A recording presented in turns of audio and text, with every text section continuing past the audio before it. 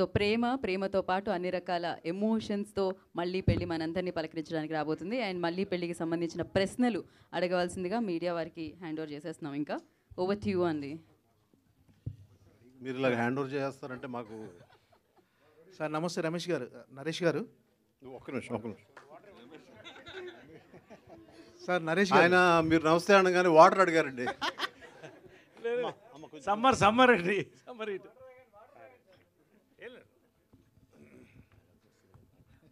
అలా- వీళ్ళు ఎవరన్నా ఏదన్నా అడిగినా కూడా మళ్ళీ పెళ్ళి అనకండి ప్లీజ్.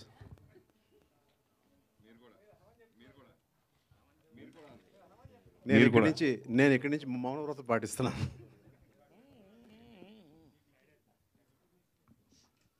సార్ నరేష్ గారు సార్ ఈ మళ్ళీ పెళ్ళి అనే సినిమా ద్వారా అసలు మేము ఏం చెప్పాలనుకుంటున్నారు? అంటే మీ లైఫ్ జర్నీలో జరిగిన ఇన్సిడెంట్స్ దీనికి ఏమన్నా ఇన్స్పిరేషన్ ఈ ఈ సబ్జెక్ట్కి ఈ కథకు?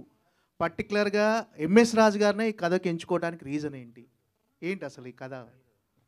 ఎంఎస్ రాజు గారిని ఎంచుకోవడానికి కారణం ఏంటంటే ప్రొడ్యూసర్గా ఆయన ఫ్యాన్ నేను అది ఒక పక్కన పెట్టేస్తే డర్టీ హరి ఫిల్మ్ చూశాను. ఆయనలో actually there is a youth in ఆయన థింకింగ్ ఈజ్ వెరీ యంగ్ ఇవాళ యంగ్ వరల్డ్ కనెక్ట్ అవుతూనే ఫిల్మ్ కనెక్ట్ అవుతుంది.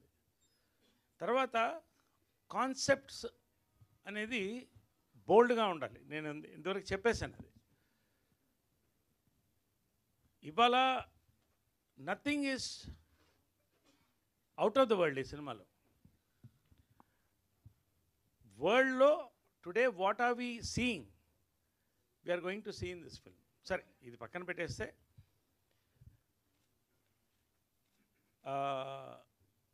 ఒకటి మాత్రం చెప్పగలనండి. ఇప్పుడు మీరు టీజర్ చూశారు ట్రైలర్ చూశారు రేపు సినిమా చూడబోతున్నారు.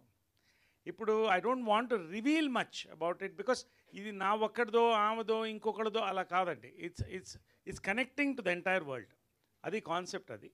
దాన్ని బోల్డ్గా చెప్పాలి. ఏదైనా కూడా basically ఒకటేంటండి? It's not about the concept ఇంగ్లీష్లో సామెత ఉంది.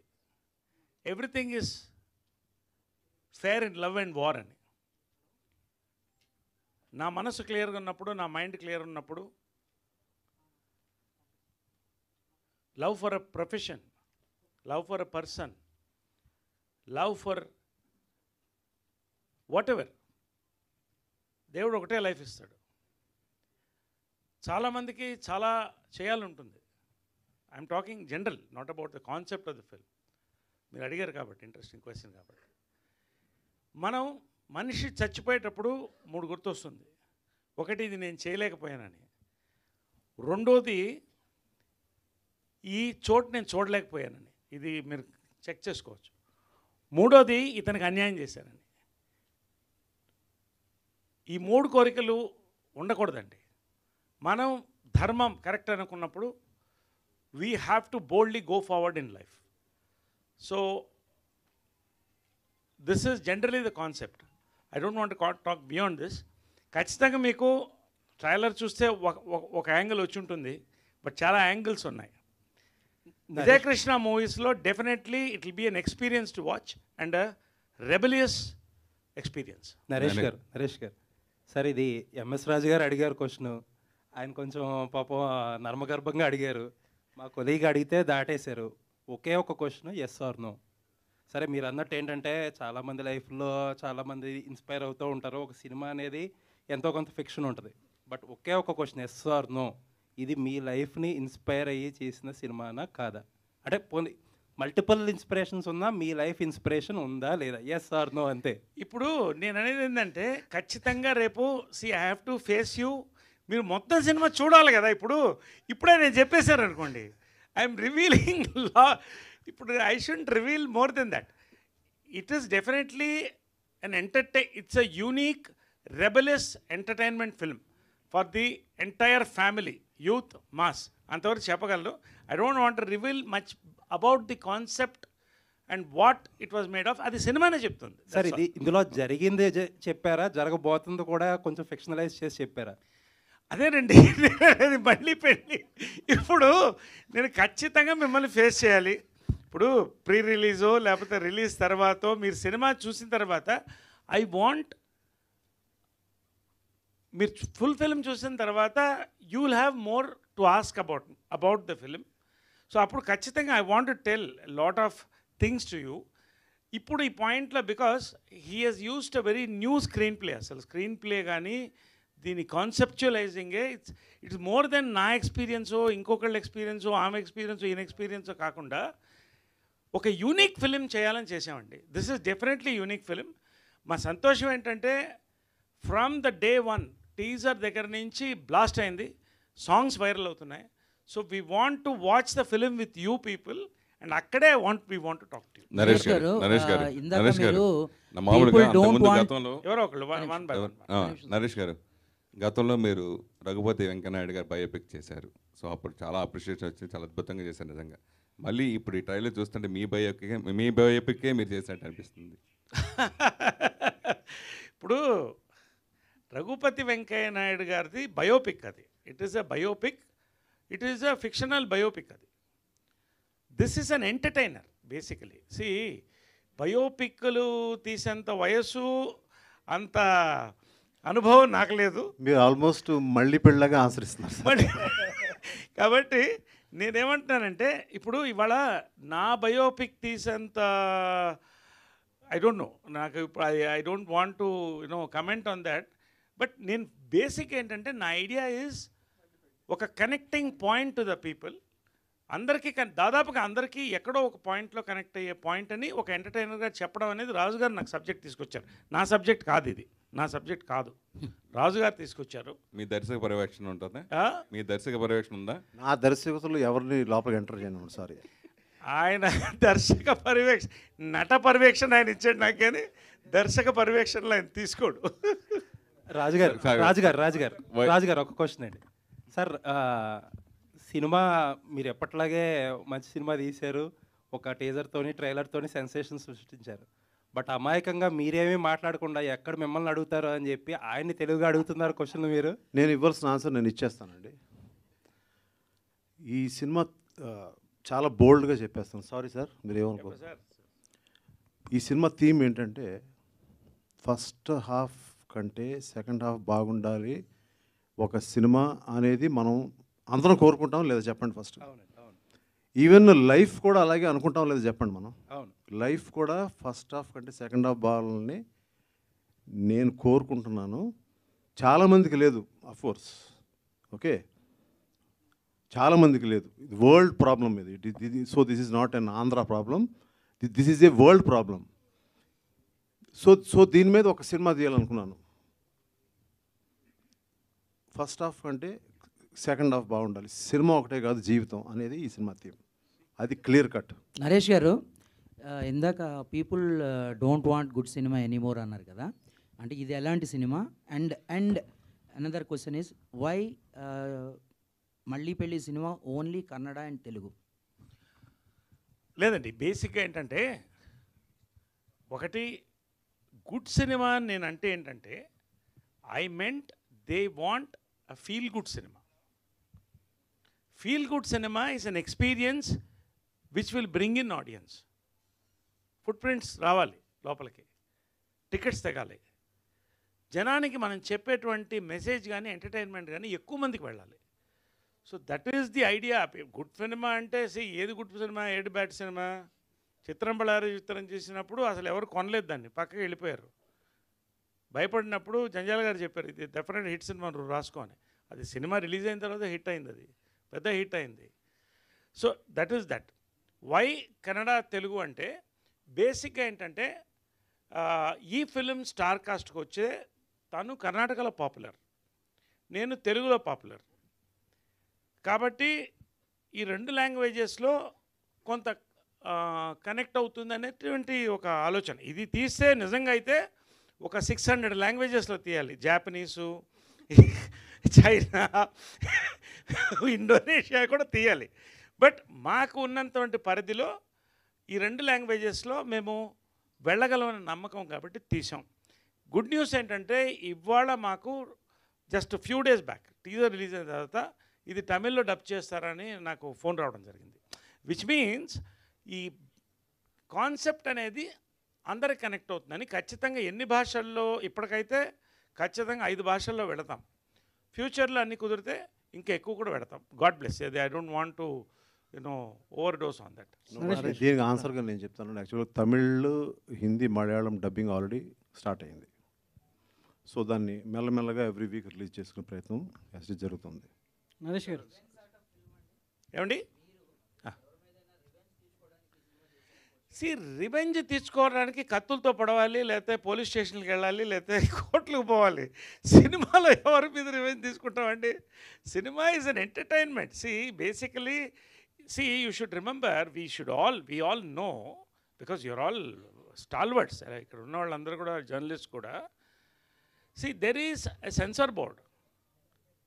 There is a censor board which regulates which is the supreme authority అని చెప్పి సుప్రీంకోర్టు చెప్పడం జరిగింది. సో సెన్సార్ని దాటో ఓ, లేతే ఒకళ్ళ మీద రివెంజ్ చేసుకోవడం సినిమా తీయక్కర్లేదండి. చాలా చేయొచ్చు. స్టింగ్ ఆపరేషన్స్ చేయొచ్చు. లేకపోతే ట్రోల్స్ చేయొచ్చు. ఇలాంటివన్నీ చేయొచ్చు కానీ ఓ పదిహేను కోట్లు ఖర్చు పెట్టి రెండు భాషల్లో రివెంజ్ ఎవరు నేను తీసుకునేంత డబ్బులు అదే లేదు. నరేష్ గారు. నరేష్ గారు. సార్ ఎలాగూ మీరు ఏమి చెప్పరని అర్థమైపోయింది. సినిమా కాన్సెప్ట్ రివీల్ చేయకూడదని already MS Raju garu indication ఇచ్చారు. ఏది అడిగినా మళ్ళీ పెళ్ళి అని ఒక ఓటు తప్ప మీ దగ్గర నుంచి ఏం రావట్లేదు. సో అంటే సాధారణంగా మనకున్న డైరెక్టర్లు వర్మ గారు బయట జరుగుతున్న సిచ్యువేషన్స్ కాంట్రవర్సీస్ క్యాష్ చేసుకుంటారు. ఈ సినిమా విషయంలో వచ్చేసరికి మీ మీద జరిగిన ఇన్సిడెంట్స్ కానీ దీ మీరే మళ్ళీ ఒక ఒక సినిమాలా తీసి దీన్ని క్యాష్ చేసుకుంటారని ఒక ఒక కామెంట్స్ కానీ ఒక అభిప్రాయం కానీ ఉంది. దీని మీద క్లారిటీ అయినా ఇవ్వగలరా? దీని మీద క్లారిటీ ఖచ్చితంగా సినిమా ఇస్తుందండి. మళ్ళీ పెళ్ళి. మళ్ళీ పెళ్ళి. ఏదే కాదు ఎందుకు చెప్తున్నానంటే నేను సి బేసికలీ వై రాజుగారు చెప్పింది ఏంటంటే it's got a beautiful message అండి. మీ లైఫ్ కానీ నా లైఫ్ కానీ ఎవరిదైనా కూడా ఎవరైనా కూడా సెకండ్ హాఫే బాగుండాలని కోరుకుంటాం. అంతే కదా? మనం హెల్తీగా వెల్తీగా హ్యాపీగా ఉండాలి. సీక్వెల్ అనేది మీరు తీయమంటే ఖచ్చితంగా తీస్తాం. అది ఏముంది, సార్, ఎన్నైనా రాజు గారు, చేయొచ్చు. రాజు గారు, ఎంఎస్ రాజు గారు విజయకృష్ణ మూవీస్ బ్యానర్లో ఎన్నో అద్భుతమైన సినిమాలు వచ్చినాయి. నిజంగా కృష్ణ గారు కానీ విజయనగరం గారు కానీ బతుకుంటే ఈ సినిమా చేయనిచ్చేవారండి? మీరు చేసేవారండి? ఖచ్చితంగా అండి. ఆయన ఉన్నప్పుడే స్టార్ట్ చేసాం సార్ కాన్సెప్ట్ కూడా ఆయనకు చెప్పాను. ఈ వాజ్ వెరీ హ్యాపీ కాన్సెప్ట్ ఆయన ఆయన ఆయన ఉన్నప్పుడే చేసాం ఆయన ఉన్నప్పుడే చేసాం చాలా లైక్ చేశాడు. ఆయన కూడా కాన్సెప్ట్ చాలా లైక్ చేశాడు. అమ్మ లేదు అప్పటికి. సో బేసిక్ ఒక కాన్సెప్ట్ చెప్పాం. రాజుగారు మేము చెప్తే చాలా మంచి ఎంటర్టైనర్ అవుతుంది ఇది. జాగ్రత్తగా తీయండి. మంచి సినిమా జాగ్రత్త తీసుకోండి అని చెప్పాడు అటువంటి కృష్ణ గారు చెప్పకుండా నేను ఏది చేయనండి. రాజు గారు ఎంఎస్ రాజు గారు సార్ ఈ స్టోరీ స్టోరీ మీరే రాశారు కదా డైరెక్షన్ చేశారు. ఈ స్టోరీలో ఫిక్షన్ ఎంతవరకు ఉంటుంది? కొన్ని ఇన్సిడెంట్స్ ఉన్నాయి రియల్ ఇన్సిడెంట్స్ బయట జరిగిన ఇన్సిడెంట్స్ ఆ ఇన్సిడెంట్లు ఎంతవరకు ఉన్నాయి? ఎంత పర్సెంటేజ్ ఫిక్షన్ ఉంటుంది ఎంత పర్సెంటేజ్ రియల్ రియల్ అంటే- మీరు ఏదో కథని మీరు టోటల్ ఫిక్స్ అయిపోయారా? లేదు సార్ మీరు చెప్పాలి సార్. మీ సినిమా మీరు ఏదో ఒకటి ఫిక్స్ అయ్యారు కాబట్టి కదా ఇది మీరు ఇంకా సినిమా చూడలేదు కదా. మీరు కాదు మీరు. ఏది ఫిక్స్ అవ్వద్దండి. ఇది టీజర్ చూసి ట్రైలర్ చూసి ఇది ఏదో ఎక్కడో జరిగింది అనేది మీరు మీరు మీరు లోపల పెట్టుకోవద్దు మనసులో పెట్టుకోవద్దు దయచేసి. మీరు ఓన్లీ పెట్టుకోవాల్సింది ఏంటంటే సినిమా చూడండి.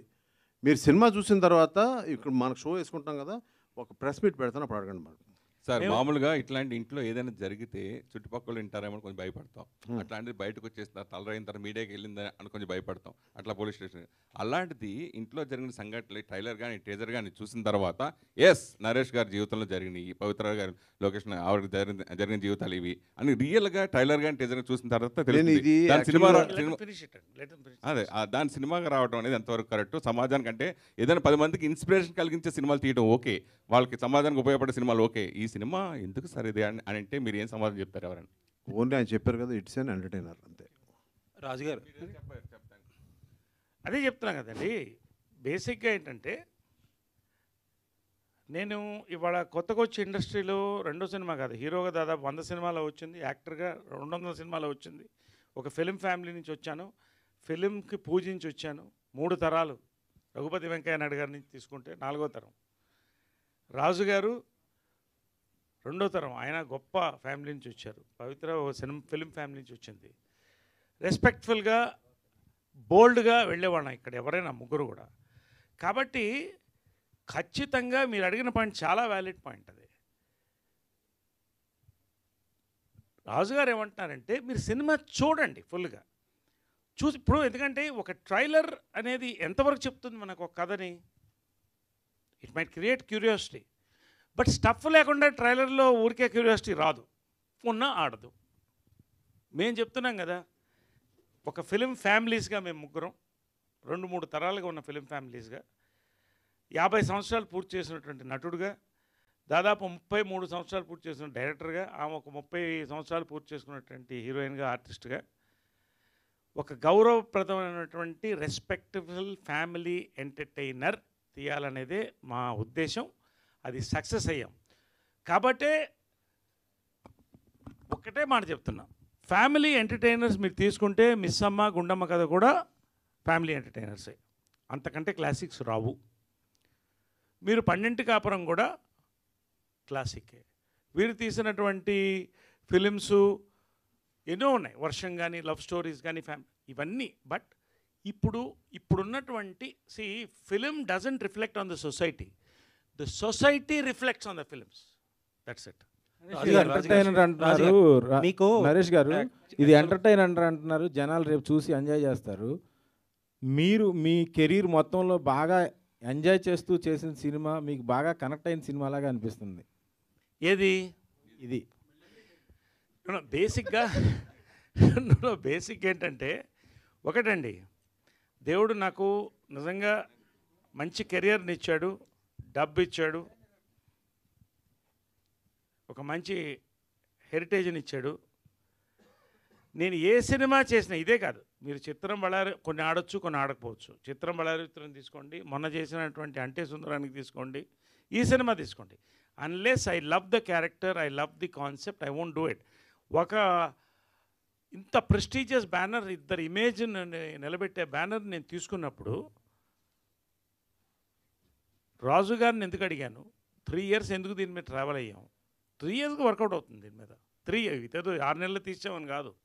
త్రీ ఇయర్స్గా వర్కౌట్ అవుతుంది. ఖచ్చితంగా నేను మళ్ళీ చెప్తున్నాను. ఏదో మేము దీన్ని క్యాష్ చేసుకోవడం దాన్ని క్యాష్ చేసుకోవడం వీఆర్ నాట్ హియర్ ఒక మంచి పాయింట్ మంచి ఎంటర్టైన్మెంట్తో చెప్తున్నాం. మీరు సినిమా చూడండి. సినిమా ప్రీమియర్ ఖచ్చితంగా ప్రీమియరే పెడదాం. మీరు అందరూ ఆన్సర్ చేయండి. మీరు ఏమైనా క్వశ్చన్ అడగండి. సినిమా అయిన తర్వాత ఫుల్ ఆన్సర్ ఇస్తాం ఆయన. రాజు గారు రాజు గారు రాజు గారు. మీరు ఇందాక మన కొలీగ్ ఒక ఆయన మరీ రిపీటెడ్గా అదే అడుగుతుంటే మీకు కోపం వచ్చింది. సినిమా చూడండి సినిమా చూసాక జడ్జ్ చేయాలండి. నాకు మీరు ఫిక్స్ అవ్వద్దు ముందే అని చెప్పారు. కొద్దిగా కోపడ్డారు. బట్ నాకు అర్థం కాదు ఒకటే. మీరు ఈ సినిమా ప్రమో టైటిల్ కూడా అనౌన్స్ చేయకముందు రెండు వీడియోలు రిలీజ్ చేశారు నరేష్ గారు. రెండు వీడియోలు కూడా ఇది సినిమాలో వచ్చిన వీడియోలు కాదు నిజ జీవితంలో జరిగిన వీడియోలే అనుకోవాలన్నట్టుగా ఆయన ట్విట్టర్లో ట్వీట్లు వేశారు ట్వీట్లు వేసి మా అందరికీ ఇది సినిమా కాదు ఏదో జరుగుతుంది అని అనిపించేలానే ప్రమోషన్ ప్లాన్ చేసి అసలు మీరు ఇది సినిమా అనుకో మీరు కథ ఈ పలానా కథను ఫిక్స్ అవ్వద్దు మీరు ఫిక్స్ అయిపోయి ముందే క్వశ్చన్లు అడగొద్దు అంటే ఎంతవరకు కరెక్ట్ సార్? అది ఇప్పుడు ఇందాక చెప్పాను ఇప్పుడు చెప్తున్నానండి.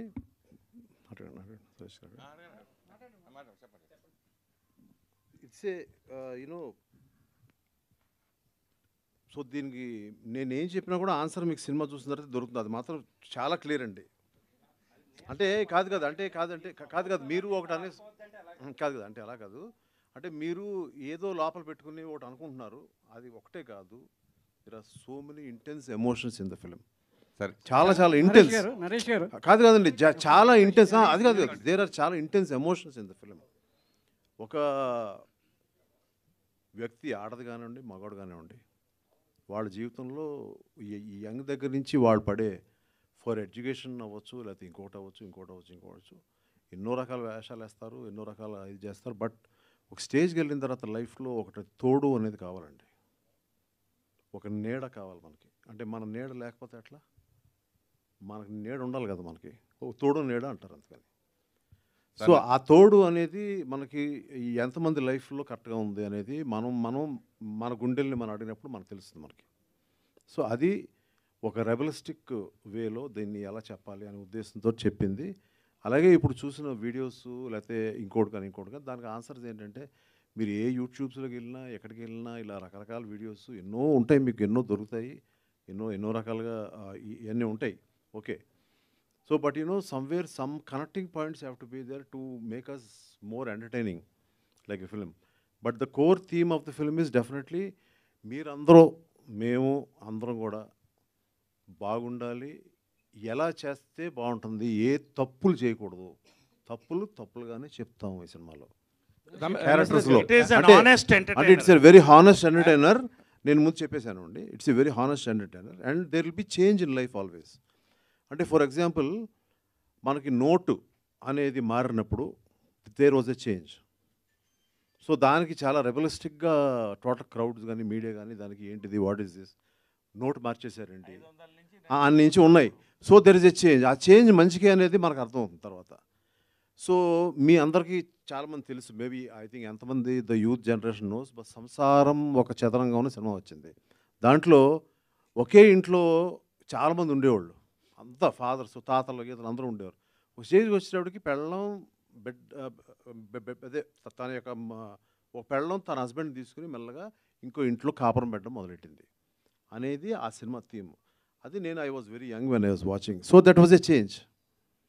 ఆ చేంజ్ తీసుకున్నప్పుడు ఆ ఇంట్లో వాళ్ళు అవ్వచ్చు ఇంటి ఇంటి పక్క వాళ్ళు అవ్వచ్చు అప్పుడేమో ట్రోల్స్ లేవు. అప్పుడంతా అప్పుడంతా ట్రోల్స్ అంటే వాల్సే.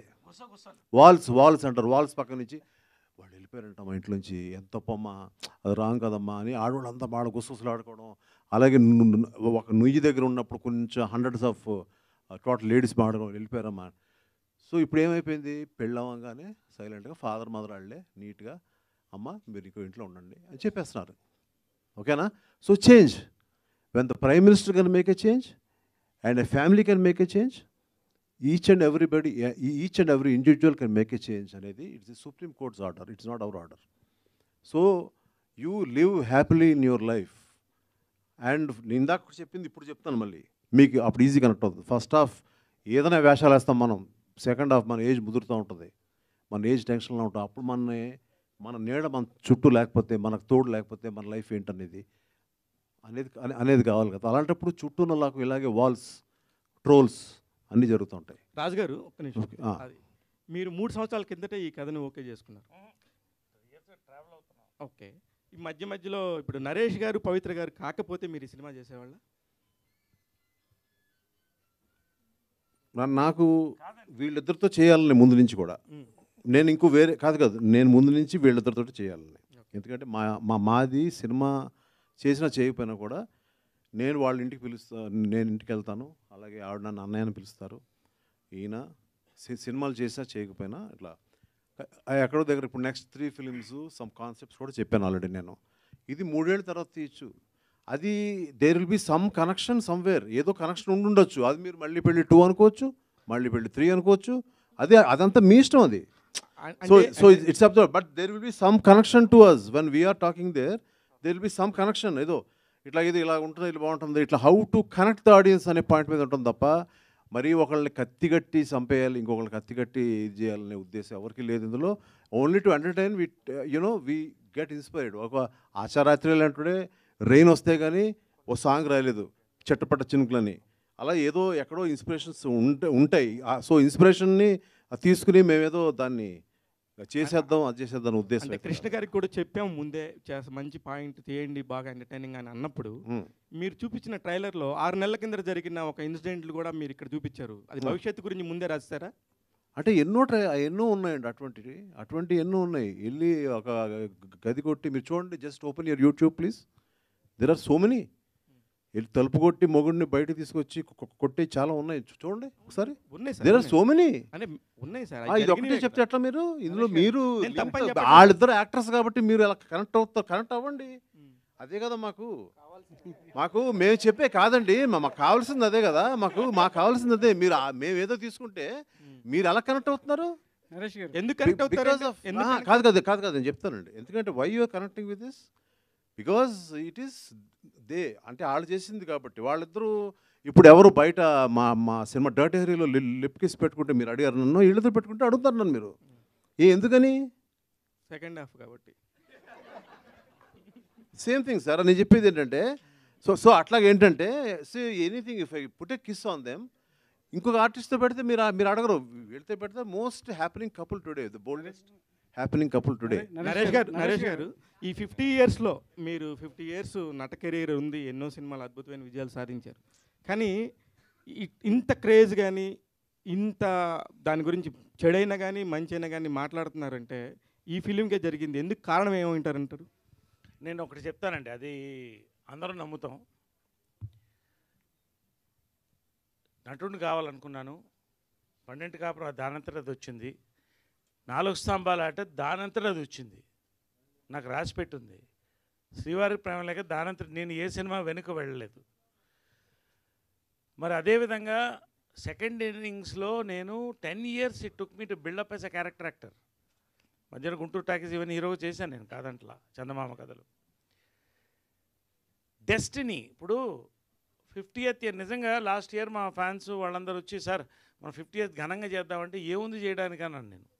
ఏముంది చేయడానికి? దానంతా నా బర్త్డేలను ఎప్పుడు జరుపుకోను? మీరు అబ్జర్వ్ చేయండి. నా బర్త్డేలను ఎప్పుడు జరుపుకోను? ప్రెస్తో మాట్లాడతాను క్లోజ్ చేసేస్తాను. బికాస్ మన బర్త్డే వాళ్ళు చేసుకోవాలి. అది మన మీద ఉన్న ప్రేమ.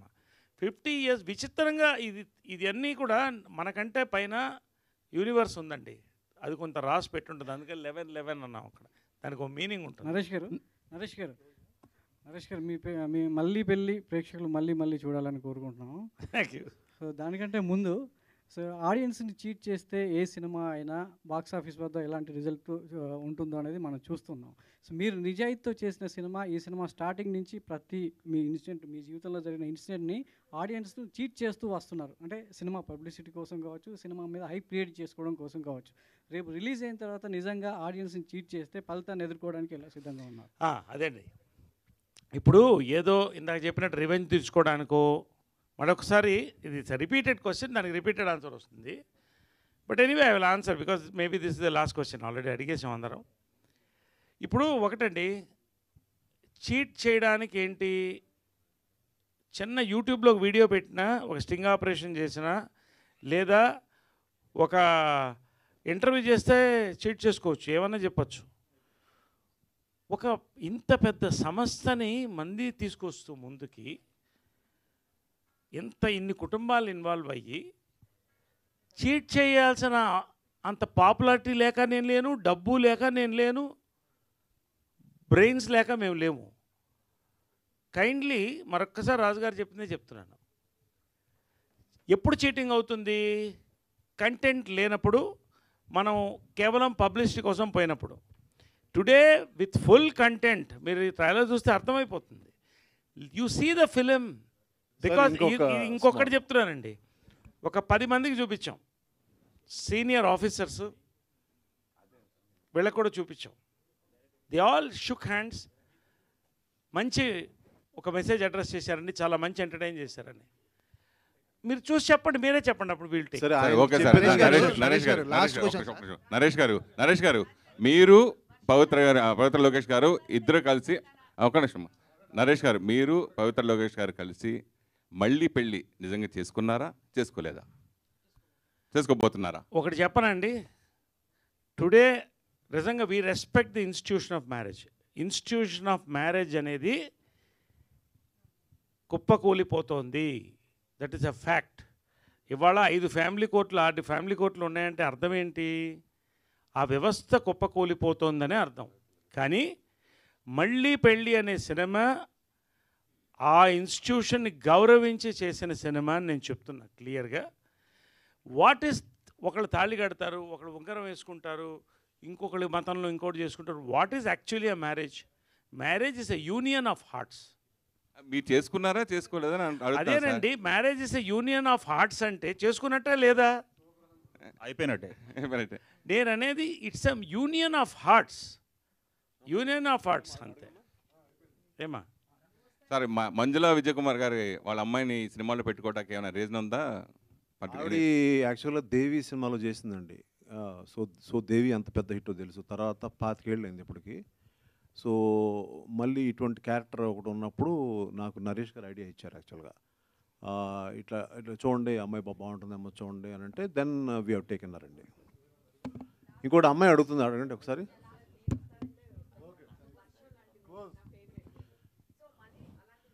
ఇప్పుడు మళ్ళీ అంటున్నారు కాబట్టి మళ్ళీ పెళ్ళి గురించి మాట్లాడతాను. అందులో కూడా వర్షం ఉంది చూసారా? ఓకే అందులో కూడా నువ్వు వస్తానంటే నేను వద్దంటాను అని వీళ్ళిద్దరూ అనుకుంటున్నారు చూసారా? అవన్నీ ఇందులో ఉంటాయి. సార్ అంటే యా ఫైనల్గా సార్. ఒకటి ఫైనల్గా ఒకటి నో ఇట్ ఈస్ సార్ ఒకసారి లెగ్ సార్ కాదు ఒకటి ఫైనల్గా చెప్తున్నామండి మీరు చీట్ చేస్తున్నారు చీట్ చేస్తారు లంచ్ అరేంజ్ చేసేవాళ్ళం కదా మంచి లంచ్ చేసుకెళ్ళేవాళ్ళం. ఒక నిమిషం ఒక నిమిషం ప్లీజ్. కాదు కాదు. ఇందాక నుంచి మీరు చీట్ చేస్తారు ఆడియన్స్ చీట్ చేస్తున్నారు. ఏదో టీజర్ అంటున్నారు. We will not cheat the audience sir thank you sir right sir sir అయిపోయింది. We will not cheat the audience అని అంటున్నానండి. అది ఏం తీసుకున్నాం ఏంటంటే పక్కన పెడదామండి. We are not going to cheat క్యూఎన్ఏలో ఒక్కో ప్రశ్నకు కూడా సరైన సమాధానం రాలేదు సార్ ఏమండి ఇంత క్లియర్గా మాట్లాడితే అంటే ఒక నిమిషం ఒక నిమిషం ఒక ఒక నిమిషం ఒక నిమిషం.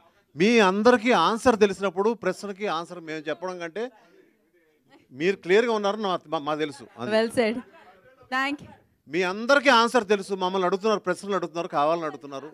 Yeah thank you thank you thank you okay thank you thank you sir thank you so much దాని మీద ఎలాంటి sir love you media. Love you